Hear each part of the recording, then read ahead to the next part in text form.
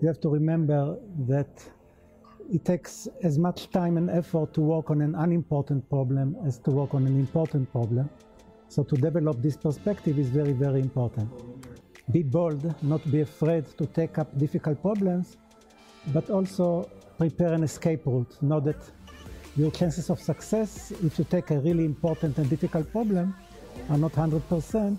So have in mind what you will do if you will not succeed in this problem, have another problem on reserve to keep you going.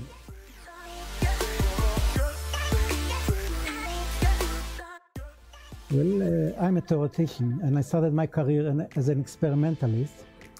And then it turned out I did not really like the tediousness of experimental work. You have to do things over and over again it is not interesting on a daily basis, and I thought theory will be interesting on a daily basis. It turned out that also theory is not always on a daily basis, but anyway, I got the idea that it will be great to to be able to do chemistry outside the laboratory and at the same time my university purchased the first mainframe computer so there was no computer on campus when I started my studies, but there was one when I chose a research problem. My ambition was to be able to do chemistry on computers.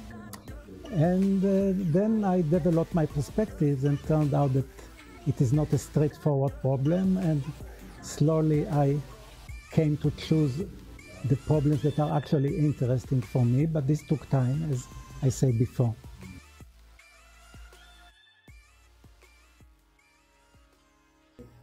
I work in different aspects of transport in nanosystems. And the general uh, title, I would say, is quantum transport and control of tra quantum transport. Now, when I say quantum transport, it can be transport of charge, like electronic charge. Uh, and if we want to control electronic currents, we can do it by external fields, we can do it by optical fields.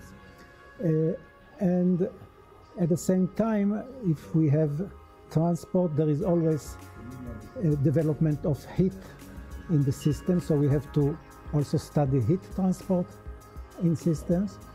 Uh, so I would say the combination of electronic transport, optical interactions, heat transport, spin transport, magnetic transport is the general area in which I'm working on at the same time to make a fundamental theory on the quantum level since nanosystems of all these phenomena, if you want to make a general theory, then the conversion of energy, motions, mechanical motions, and, uh, and information are all under the, I would say, the general field of thermodynamics. Now, in macroscopic physics, thermodynamics is an old and very de developed subject. In the nanosystem, this is a completely new field, sometimes with completely new rules. And studying all these phenomena under the general framework of quantum thermodynamics is another main subject of my research.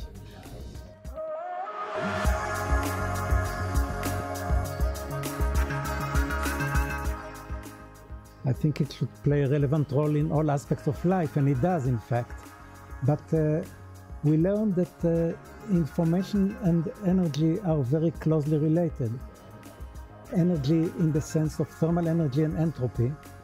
So I think it's already an important part of physics, and I think it will grow because, as I say, when we handle more and more entanglement phenomena and transport of entanglement, this is basically, I could say at the same time, transport of information, because entanglement is quantum information.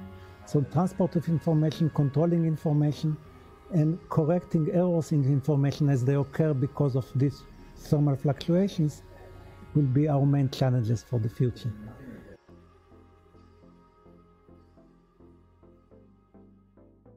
Unification of energy and information, of course, is the prime subject, but uh, I, I, think the main difficulty between us and quantum computing and other quantum technologies, in particular on the nano level, is the noise that basically spoils the advantages that quantum mechanics give us. Quantum mechanics give us information to work with the phase of a wave function. Noise and fluctuations and dephasing destroy this part of the uh, uh, of the, the tool that we have, which brings us back to classical uh, phenomena. So controlling noise, controlling fluctuations, correcting errors that are caused by them, I would say, is one main subject. The other main subject uh, is the transfer of entanglement. That is, we know a lot about transfer of energy, transfer of charge, conversion of energy. We know, we know very little about transfer of entanglement and studying this as a field. I mentioned before different transport phenomena. In the future, I think transport of entanglement can be another important transport phenomenon to study.